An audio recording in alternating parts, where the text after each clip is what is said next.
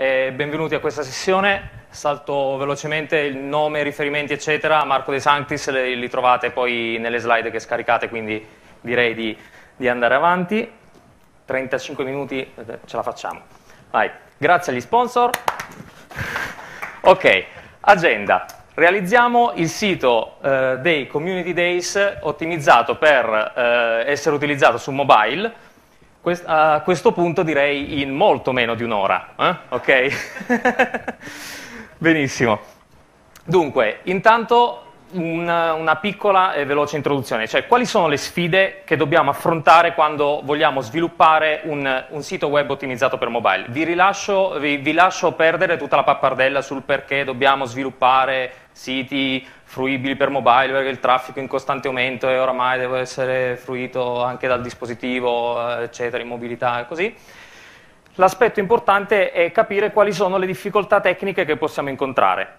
Ce ne sono diverse. Allora, intanto c'è il problema che il, eh, il, sito deve essere visualizzato in maniera sufficientemente grande per essere letta eh, a colpo d'occhio, insomma non, non vogliamo costringere l'utente a zoomare in continuazione sulle parti di interesse, ok?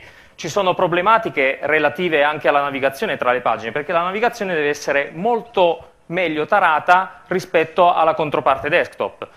Un, una, una, pagina troppo lunga mi costringe a, a, scrollare in continuazione magari per arrivare al menu che, che è in basso e quindi non va bene. Okay? D'altro canto neanche posso costringere l'utente a navigare in continuazione tra una pagina e l'altra per una miliardi di pagine per leggere, per leggere un articolo o un contenuto che ho voluto pubblicare. Quindi, seconda problematica, gestione della, della navigazione. Terza problematica, l'interazione con il dispositivo com'è? Touch, giusto? Quindi touch vuol dire che il link deve essere sufficientemente grande per essere premuto con il dito, eh, stessa cosa button, eh, button, radio button, checkbox no? di dimensioni sufficienti per, per garantire comunque un'interazione che sia priva di, di particolari problematiche e difficoltà del, da parte dell'utente. Benissimo. Quindi una serie di, eh, di, difficoltà tecniche che ci troviamo ad affrontare eh, quando dobbiamo sviluppare, quali sono i tool che abbiamo a disposizione, perché a questo punto capiamo che voler gestire queste problematiche vuol dire o eh, scriversi a manina eh, tutta una serie di skin, eh, realizzare una serie di immagini, eccetera, in modo da garantire un'esperienza gradevole all'utente, oppure magari appoggiarsi a qualche framework che fa questo per noi. Okay? Ce ne sono diversi in giro, c'è Sencha Touch, mh, Kendo UI che per esempio è un framework di Telerik eh, a pagamento e quello di cui vi parlerò oggi invece è jQuery Mobile. Perché jQuery Mobile? Quanti di voi scrivono più o meno JavaScript durante la loro giornata lavorativa? Alzino la mano. Quanti di voi usano jQuery? Vi siete risposti. Perfetto. Allora, Bene, due parole su jQuery Mobile, è poco più di un anno che, che in giro, io lo seguo più o meno dalla, dalla primissima alfa e fondamentalmente fa tutto quello che ci siamo detti e in più ha il grosso pregio di farlo cross browser e cross device. Cioè cosa vuol dire? Siccome si è tornati un po' indietro nel tempo, no? cioè, chi, chi, ha sviluppato per web eh, qualche anno fa si ricorda tutte le varie, anche oggi veramente, delle varie problematiche per far sì che il stesso sito si veda bene su Chrome, eh, sui device e la stessa roba, forse ancora peggio perché cambiano anche magari le API JavaScript dei, eh, dei vari sistemi. Ecco, jQuery Mobile supporta un gran numero di sistemi, qui ho cercato di raggruppare più o meno la classificazione che hanno fatto, diciamo che i sistemi di grado A sono quelli che hanno praticamente tutte le feature fondamentali di, di JQM, quindi sono tutti più moderni se vogliamo, da Android, Windows Phone, iOS eccetera. Quelli di grado B eh, hanno tutto tranne che la navigazione Ajax, quelli di grado C eh, non hanno nulla, però almeno garantiscono che funziona come, come funzionava prima, quindi possiamo usarlo senza, senza grosse problematiche. A quel link trovate proprio la documentazione ufficiale che spiega nel dettaglio questa cosa che vi ho appena accennato. Bene, tempo e tiranno, eh, iniziamo a dare un'occhiata allora proprio al codice, visto che dobbiamo realizzare un sito web in mezz'ora. Benissimo. Una cosa velocissima, eh, io userò ASP.NET MVC, non so quanti di voi lo conoscano, però mh, fondamentalmente non è tanto su, sul framework eh, server-side che verte, verte, la sessione, quindi ho scelto MVC perché è, è molto sviluppo HTML grezzo, insomma ci fa scrivere l'HTML senza eh, inquinarlo più di tanto con, con del codice server-side, quindi non soffermiamoci sul codice server, guardiamo il codice client che comunque risulterà chiaro anche a chi non conosce, non conosce bene MVC. Quindi, primo passo, installare jQuery Mobile. Se usate Visual Studio 2010 per sviluppare, c'è un package di NuGet che, che, vi installa tutte le dipendenze, jQuery, eccetera, altrimenti lo scaricate dal sito ufficiale, eh, poi vi do i link, eh, oppure c'è il, il, il, CDN di, di JQM, quindi avete, avete, tutto un gran numero di risorse per poter gestire l'installazione. Benissimo, poi una volta installato quello che dobbiamo fare è referenziarlo nella nostra master page o nella layout page nel caso di, di MVC. Cosa vuol dire questo? Vuol dire includere intanto il CSS, ok? che vi viene fornito, eh, viene fornito insieme al package, jQuery versione 1.6.4 successiva e jQuery mobile. Ok? Eventualmente potete aggiungere anche dei vostri CSS personalizzati, io qui l'ho fatto, se avete necessità di, ovviamente di, di personalizzare il look dell'applicazione o qualsiasi cosa. Bene. Detto questo, andiamo nella nostra prima pagina del, del sito web dei Community Days. Okay? E iniziamo a capire qual è l'anatomia di una pagina per JQM. Una pagina in JQM è fondamentalmente costituita da quattro div. Okay? Un div con data role uguale page, che è il contenitore della pagina. L'attributo data role è eh, ignorato dal browser, quindi possiamo metterlo senza troppi patemi d'animo e al suo interno tre div header, content e footer. Ok? Nel div header possiamo mettere qualcosa tipo h1 cdays.it nel div footer mettiamo copyright 2012 adesso. E nel contenuto mettiamo magari un po' di roba che ho, che ho preso dal sito ok?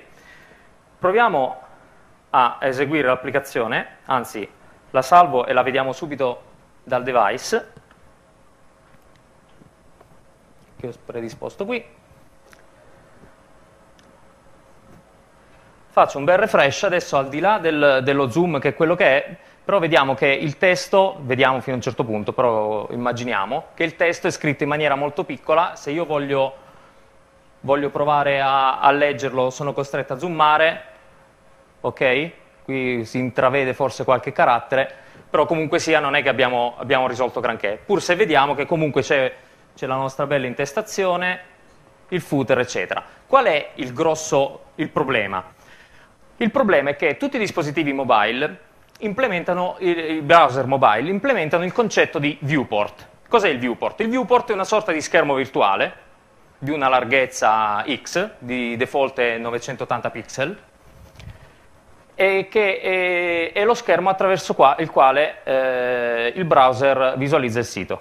Questo per evitare che, che, siti che abbiano un layout fluido si sminchino completa, completamente, il termine tecnico, eh, nel, nel, layout quando li visualizziamo. 980 pixel sono sufficientemente larghi per visualizzare bene qualsiasi, qualsiasi sito web. Okay?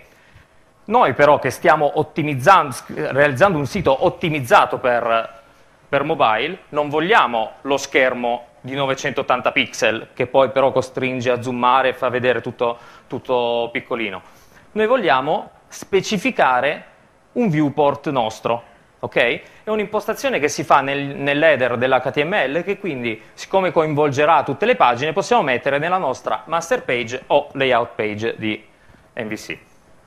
Quindi, sulla layout page diciamo che il viewport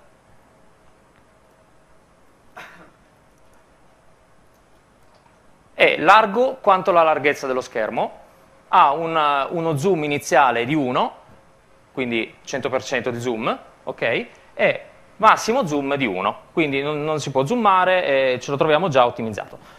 Solo con questa, eh, con questa header, adesso se torniamo a guardare il sito, ecco, una volta refresciato, si, si legge quasi con questa schifezza di, di interfaccia, però vedete già è molto, molto ma molto più, più fruibile. No? Abbiamo, messo, abbiamo del testo che si legge eh, benino, no? senza dover zoomare, eccetera. Perfetto.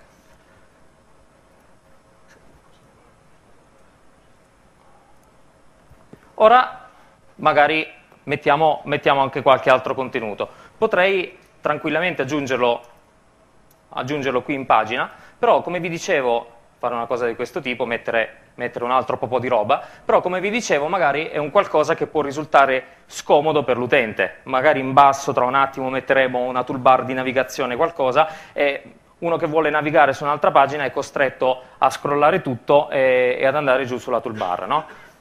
Non è il massimo. Quello che possiamo fare allora è mettere tutto questo contenuto in una seconda pagina. Ma come? Dobbiamo realizzare un'altra pagina HTML, ASPX, eccetera? No basta creare un nuovo gruppo div data role uguale page.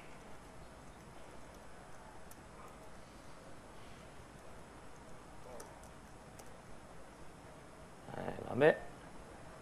Header e footer. Content e footer ok? Qui rimetto il contenuto come era prima, footer lo stesso, e qui metto tutto quel mio po' di roba, ok? Questa è una pagina logica di JQM che risiede dentro la pagina fisica index.cshtml. Per default viene visualizzata solo la prima, la seconda ha un suo ID, che per esempio potremmo chiamare secondary page, ok?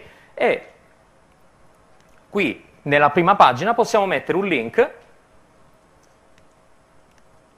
che punta all'anchor secondary page, altre informazioni, ok? E JQM mi consentirà, consentirà tramite questo link di navigare verso la, seconda, verso la seconda pagina. Allo stesso modo nella seconda pagina possiamo mettere un link che rimandi, rimandi alla prima pagina logica. Lo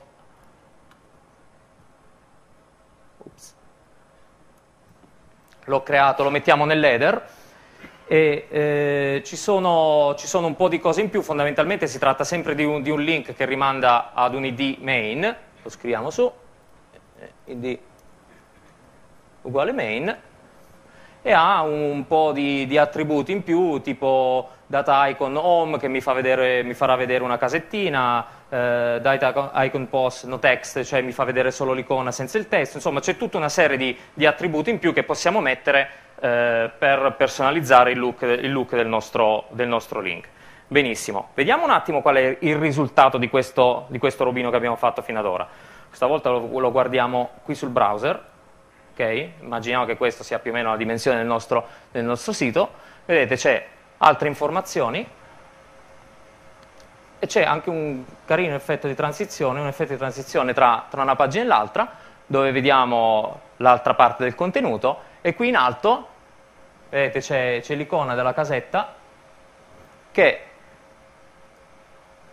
mi fa la transizione verso, verso l'altra eh, la, la, pagina iniziale. Ok? Tutto nella stessa pagina. Eh? Carino, semplice, cioè alla fine abbiamo messo solamente due tag, due attributi in più nei, nei tag. Perfetto. Ottimo, non faremo solo due pagine, magari ne faremo un po', perché non realizzare una toolbar? Eh? Magari da mettere qui sotto nel footer realizzare una toolbar in eh, jQuery Mobile è estremamente semplice perché basta realizzare un div in cui mettiamo data, ops, sono andato sopra, in cui mettiamo l'attributo sempre solito data role uguale navbar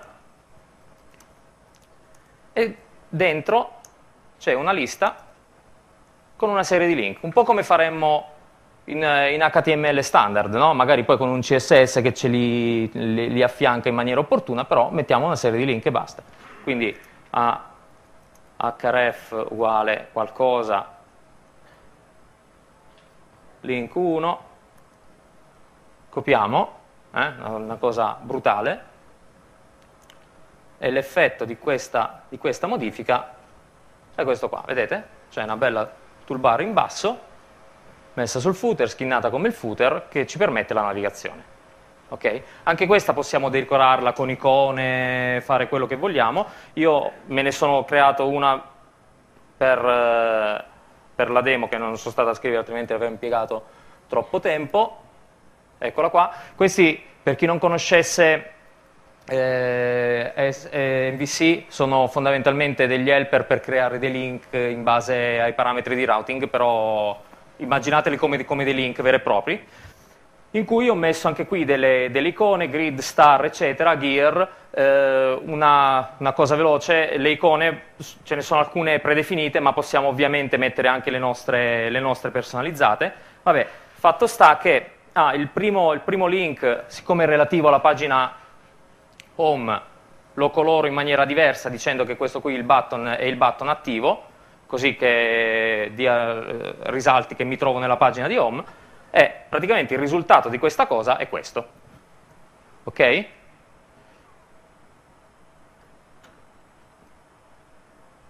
Carino? Perfetto. Quando ho premuto Trax, avete visto che è partita la rotellina lì della navigazione?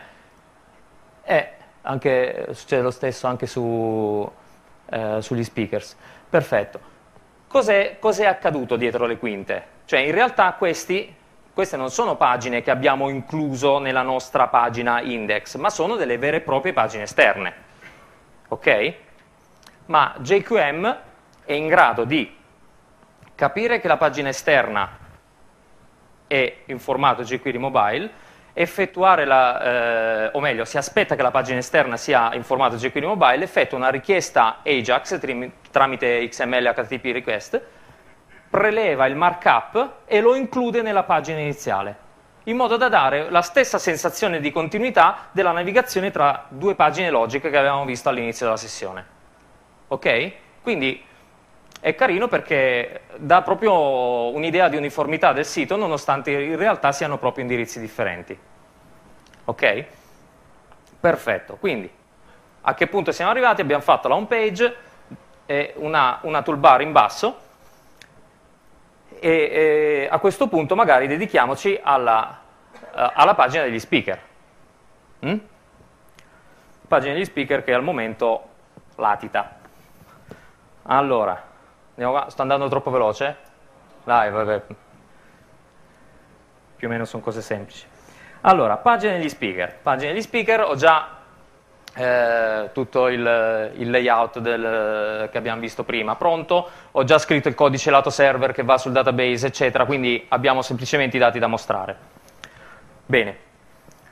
Ora, Qui dovrei replicare di nuovo la navigation bar, eccetera. In realtà possiamo fare, se siamo su, su webform, su uno user control ovviamente, piuttosto che un HTML helper su, su MVC, io già me li sono creati, quindi qui scrivo HTML header, qui scrivo, questi li ho creati io, poi magari non fanno altro che mettere il markup che abbiamo visto prima. Navigation bar 2, 2 è il secondo item eh, selezionato, no? il terzo item selezionato così che me, me, lo evidenzia in maniera diversa come abbiamo visto in home, è html.footer. Benissimo, mettiamo adesso qua un bel elenco di speaker. Come visualizziamo normalmente un elenco in HTML? Ancora una volta con il tag UL, giusto? Quindi facciamo bella intestazione H1, gli speaker facciamo una lista e poi per ogni speaker in is.model.speakers aggiungo un LI con per esempio h1 speaker.name e p. Speaker.title una lista. Ok? bene. Mi basta scrivere qui data role sulla lista vedete? sulla lista. Data role uguale list view. Ok? Perché il markup della pagina speaker sia parecchio più carino. Eccolo qua. Eh? Già tutto bello skinnato, dove, dove, è stato specificato il title eh, appare sotto evidenziato diversamente, eccetera. Vi dirò di più. Potrei per esempio pensare di inserire un'image dello speaker, vedete, image source uguale qui, calcolo l'URL in base, in base al codice dello speaker, JQM ridimensiona automaticamente l'image per mostrarla a, 80, a, un quadrato 80x80 pixel in modo da mostrarla correttamente all'interno della nostra, della nostra lista e il risultato è questo. Ok? Qui Chrome fa un po' una schifezza che mette, mette una barra, però in realtà fate finta che non ci sia, tanto eh, sul, eh, sui dispositivi non c'è. Ok? Poi, se tutto questo blocco qua viene wrappato da un link verso un'altra risorsa, ad esempio, quindi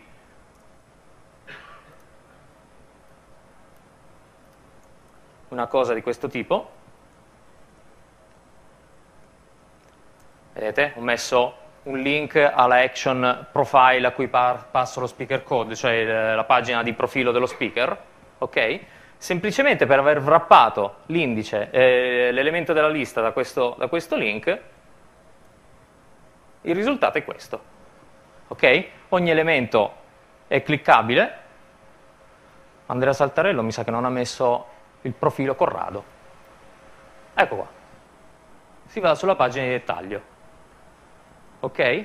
Questo veramente con uno sforzo, se ci pensate, minimo, perché qual è il grado di invasività sul markup che abbiamo scritto? Veramente minimo, si tratta solo di mettere degli attributi che altrimenti vengono, vengono ignorati dal browser. E ci troviamo gratis tutta una serie di, di funzionalità, navigazione Ajax, eh, animazioni, eh, rendering adatto per, per mobile, guardate qui c'è un pulsantone enorme, si può premere facilmente, non c'è un link che magari devo andare lì a beccare con la punta del, del mignolo. Mm? Ok? Perfetto.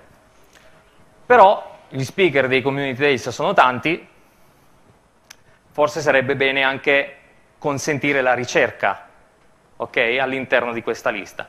Anche qui è semplicissimo perché è solo una questione di aggiungere degli attributi a, alla nostra unordered list eh, HTML. In particolare dobbiamo, dobbiamo dire che la lista è filtrabile, ok, data filter uguale true, e poi questo qui magari il testo che possiamo, che possiamo mettere per invitare a digitare una chiave di filtro. ok? Questo comporta la presenza di una text box in alto in cui posso scrivere Corrado ok? E il testo che digito viene automaticamente cercato all'interno del, del singolo elemento. Quindi qualsiasi cosa abbiamo scritto nel, nel, nell'elemento, per esempio se cerco Microsoft, Microsoft Italia viene fuori Santini. Ok? Qui viene fuori Saltarello perché c'è Microsoft MVP. Ok? E eventualmente se ho necessità di, di, filtrare per una chiave particolare qualcosa, eh, po posso specificarci anche lì un opportuno tag, c'è scritto, descritto nella documentazione, per dire ok, questo elemento risponde alla chiave di filtro X. posso personalizzare la condizione di ricerca, per default è fatta su qualsiasi parte del campo, altrimenti posso mettere solo inizia con mettere una logica mia eh, a piacere, insomma è tutto assolutamente personalizzabile in questo senso.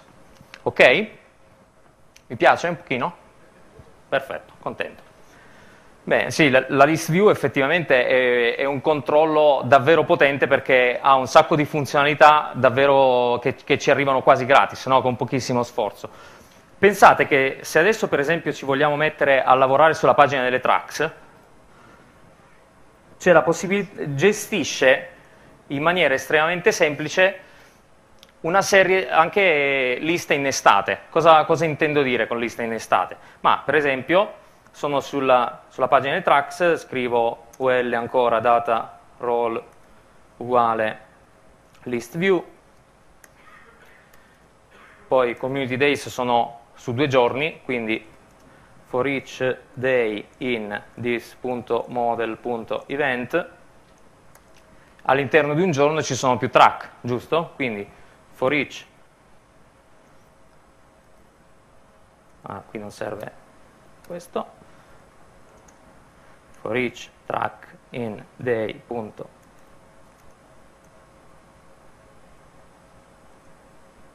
vuole.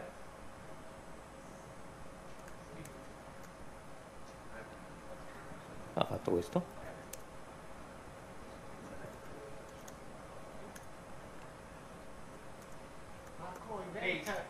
eh? giusto? troppa fretta tracks ok? e qui mettiamo una serie di l'elenco delle tracks no? quindi list item track.title poi magari dentro e questo lo mettiamo dentro un H1. Poi, dentro lo stesso item, mettiamo una seconda lista, che sono le sessioni della, della track. Quindi UL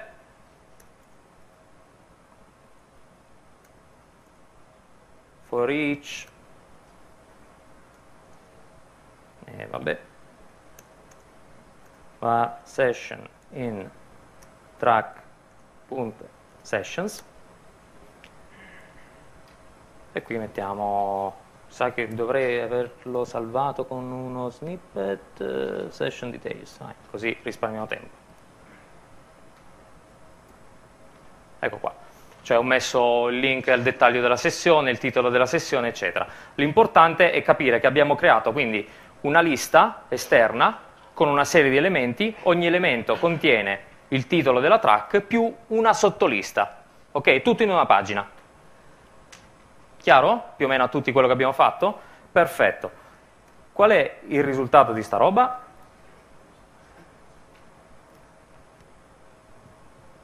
È un'altra lista di elementi cliccabili. Cliccabili perché? Perché ci sono dei sottoelementi. Quindi mi permette, automaticamente la list view mi consente di fare drill down su una gerarchia di, di informazioni, semplicemente per aver fatto delle sottoliste. Ok? E dentro .NET Framework 4.5, vabbè qui non ho messo, eh, non ho messo LLI,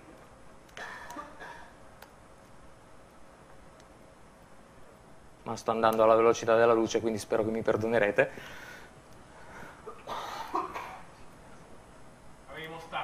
Ok eh?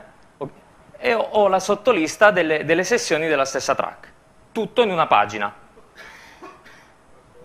E poi qui dentro andiamo sul, sul, dettaglio, sul, dettaglio, della sessione che è una pagina che ho realizzato a parte. In realtà ho un po' imbrogliato quando ho detto che l'avremmo fatto in mezz'ora perché un po' ci ho lavorato a casa, però vabbè. Ok? Quindi List view, possibilità di filtrare, automati layout automatico con immagini, eccetera, link, cliccabili, eh, tutto quello che vogliamo, drill down nel caso facendo delle sottoliste con eh, drill down automatico facendo delle sottoliste. Quindi controllo estremamente versatile e, e semplice da utilizzare. Perfetto, siamo arrivati sul, sulla pagina di dettaglio della sessione che posso visualizzare anche con eh, due pulsanti che ho, che ho, messo in alto, next e, e, e previous, oppure questo che ritorna alla pagina delle tracks nel caso in cui sia al primo della giornata. Bene. Mi piacerebbe in questo caso sfruttare la, le, capacità, eh, le, capacità, touchscreen no, del, del, dispositivo, per esempio dando la possibilità di eh, passare da una sessione, sessione all'altra invece che premendo i pulsanti magari con una gesture di swipe, sarebbe carino. Okay? Un'altra figata di JQM è che espone delle eh, API, degli eventi, okay, per gestire gli, ev gli eventi touchscreen no? che fanno da wrapper di quelli nativi, nativi del browser eh, in modo che mh, sostanzialmente ci troviamo a scrivere una volta il codice eh, con una garanzia, una discreta garanzia che funzioni su, su, tutti i dispositivi. Perché una discreta garanzia? Perché ci sono alcuni dispositivi, eh, purtroppo Windows Phone è uno di questi, che non implementano ancora delle API touchscreen in JavaScript sul browser e quindi non, non danno alcun tipo di supporto a, a questa funzionalità. Però volendo aggiungerla, cosa dobbiamo fare? Andiamo sulla nostra pagina di dettaglio, dove ho già messo gli header, eccetera, e qui dobbiamo aggiungere il nostro codice per, per intercettare, per intercettare l'evento di swipe, swipe left, swipe right, eccetera. Tipicamente come facciamo a a, a, ad attacciare degli eventi in jQuery? Di solito scriviamo qualcosa di questo tipo, script type uguale text javascript, e poi qui dentro dollaro function, eh, giusto? E qui poi agganciamo, agganciamo i vari eventi, no? Siamo abituati a lavorare così, giusto? Perfetto. Non funziona, non va bene. non va bene per due ragioni. La prima ragione è che c'è la navigazione Ajax, vi ricordate? Cioè la pagina viene caricata tramite XML HTTP request. Quindi il load del document avviene una volta sola, alla prima visualizzazione, non ci sono successivi load e quindi non scatterebbe mai questo. Ok? Fortunatamente esiste un evento che si chiama PageInit, di, esposto da jQuery Mobile che mi segnala quando una pagina logica è stata inizializzata. Quindi ci sono tutti gli elementi, la navigazione Ajax è, è stata ultimata, ok? E quindi ho tutto a disposizione. Quindi sarà il nostro page init da agganciare piuttosto che questo che è il, è load fondamentalmente del document. Ok? Secondo problema è che eh, eh, secondo problema è che questa parte qui nella navigazione Java, Ajax viene totalmente ignorata perché quello che viene preso in considerazione è solo il div data role uguale page. Quindi se questo è esterno al nostro blocco data role uguale page, la nostra pagina JQM non viene caricato e quindi non, va, non andrà mai a finire su, su quanto, su quanto viene, viene, caricato con, con Ajax. Okay? Quindi, morale della favola di tutte queste elucubrazioni, intanto questo lo devo spostare qua. Ok? Quantomeno dentro, dentro al blocco div. E poi qui devo sfruttare non il dollaro function, ma l'evento pageInit. Io, per andare veloce, meno male, visto il problema che abbiamo avuto, mi sono realizzato già lo script. E diamogli un attimo un'occhiata. Allora, tralasciamo un attimo questa riga e guardiamo questa. Questa cerca un oggetto che, che ha la classe CSS swipeable, questo qui. E al pageInit, oh, è codice jQuery come quello che abbiamo scritto fino a 20 minuti fa, eh, cioè è davvero standard. $dis, live, aggancio l'evento, swipe left quindi swipe per così.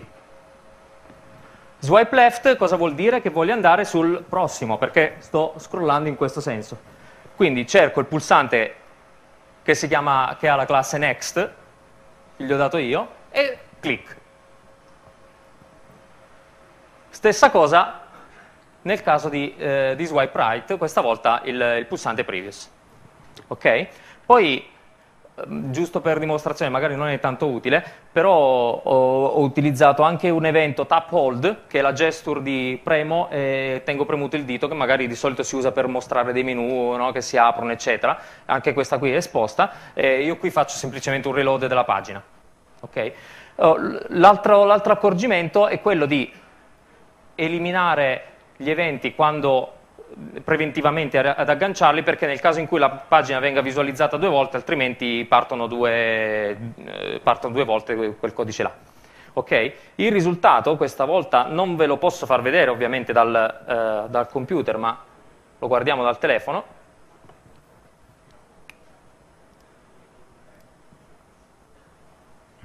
che si vede male però magari prende l'idea allora vado sulla pagina delle tracks,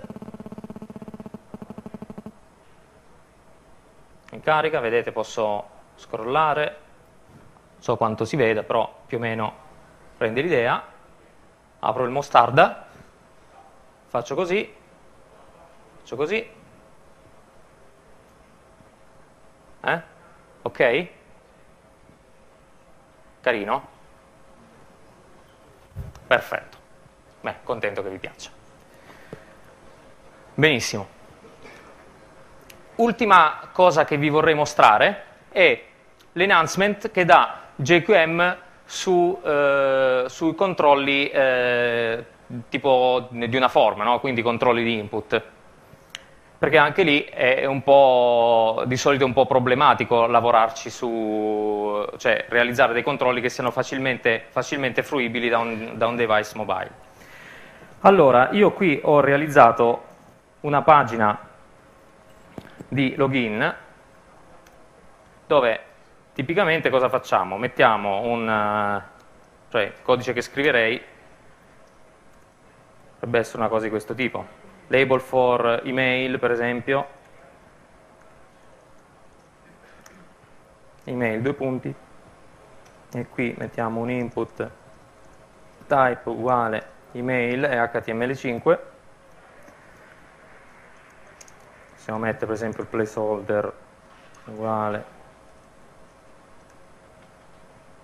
Email. Bene facciamo anche un altro input che chiamiamo password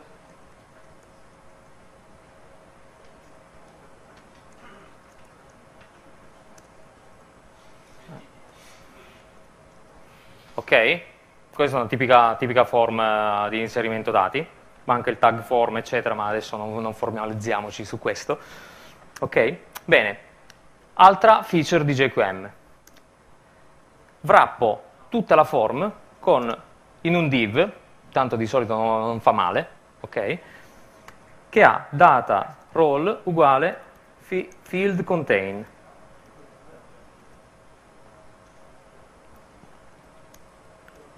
Ok? Salvo e guardiamo cosa accade sulla form. Prendo il device, vediamo se riesco a farvelo vedere da qua. Allora, vado qui, form di login. Non so, non, non si vedono tanto, ma forse così un pochino. Ok, si vedono email, eccetera, no? con, i, con i placeholder. No, perfetto. Il fatto di averlo wrappato dentro field contain, cosa mi dà in più? Mi dà che se l'utente sta visualizzando il sito così, adesso lo vedrete al contrario, non, speriamo non vi venga il mal di mare, però, però non, non, riesco a farlo vedere. Ah, forse, eccolo. Ah, qui non ho, non sono andato, non ho messo correttamente il riferimento. Aspettate che lo sistemiamo. Eh, label for password, sì, mancano gli ID. Eh questo id uguale email e questo qua è id uguale password. Ok scusate ricarico.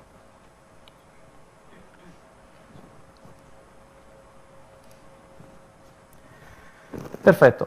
Quindi Nel caso in cui l'utente lo, lo, visualizzi in landscape, vedete come si allineano i controlli con, con le label di lato, si, si, leggono appena, però le label sono di lato e i controlli, i controlli sulla destra. Se invece sono in modalità portrait, le label vengono messe sopra, ok? Questo viene perché così resta più spazio per, per le text box? E questo è già un'ulteriore facility che, che può risultare molto comoda. Una form complessa tipicamente ha altre, tante altre informazioni, ve lo faccio vedere proprio velocemente. Io qui ho messo, per esempio, un paio, un paio di radio button, ok? All'interno di un field set. Ho messo un select, ok? E un input type uguale submit alla fine. Qual è l'effetto di tutto questo? Ah, vi faccio notare il field set che, che racchiude i radio button ha il data role uguale control group, poi comunque sono tutti dettagli che vi potete guardare comodamente scaricando, scaricando l'esempio, e il risultato di, di questo markup è qualcosa di questo tipo.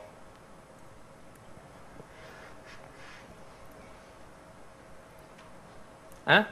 Ok, email, password, questi sono dei button cliccabili, Qui adesso sul, sul telefono in realtà viene, viene gestito come la, la, select nativa, quella che va a tutto schermo, eccetera, però comunque c'è un bel pulsantone grosso che, che, è facile da premere, non è solo, solo la select eh, striminzita del, dell'HTML.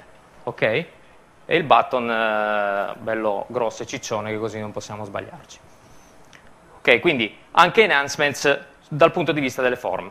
Ultimissima cosa, tutto quello che abbiamo visto è, è stato realizzato davvero in maniera semplice, però c'è tanto lavoro che viene fatto dal framework, no? Giusto? Solo che si corre un grosso rischio, cioè che tutti i siti fatti con JQM sembrino uguali, perché alla fine i button sono quelli, l'intestazione è quella lì, eh, i colori magari sì li possiamo cambiare, però il look più o meno quello là. In realtà eh, è possibile davvero personalizzare tantissimo del look, eh, del look, del sito, lasciando inalterate solo le funzionalità fondamentali o addirittura attivare le funzionalità fondamentali tipo navigazione, eh, Ajax, eccetera, da codice JavaScript. Ok, quindi skin nostra, completamente nostra, codice JavaScript che chiama le funzionalità di, di jQuery Mobile per dirne una. Quindi davvero si può andare a qualsiasi livello di dettaglio. Questo è uno sviluppo per forza di cose RAD, quindi non, non ci siamo spinti fino a quel punto. Esiste un tool, eh, che, il cui link è pubblicato proprio sul sito, un tool online, che permette, sul sito di jQuery Mobile, che permette di generare graficamente la skin per, per, il nostro, per, il nostro, sito web. Cioè praticamente io sono lì che, che, vedo tutto un esempio di controlli, le pagine come vengono fuori, cambio i colori, cambio di quanto devono essere arrotondati i bordi, tutta una serie di robe e alla fine mi fa scaricare il CSS. Ok? Che è, è veramente utile e comodo. Però comunque poi alla fine è markup eh, normale, quindi lo possiamo dare in pasta a un grafico e si può divertire quanto vuole. Quindi, concludendo, un paio di link utili, questo è il sito dove trovate documentazione eccetera, o, altrimenti potete installarlo comunque con, eh, con NuGet, questo è il Team Roller, cioè quel, questo tool di cui vi ho appena parlato, l'indirizzo è jquerymobile.com slash teamroller che potete utilizzare per, eh, per personalizzare al massimo il vostro sito web mobile. E niente, due piccoli messaggi promozionali sui nostri libri, se, se vi interessano eh, materiale domani se avete bisogno, visto che ho rubato 10 minuti eh, di domande, eccetera. Eh, c'è tempo? Ah, c'è il break, perfetto. Allora non ho rubato, vi ho rubato, ho rubato a voi.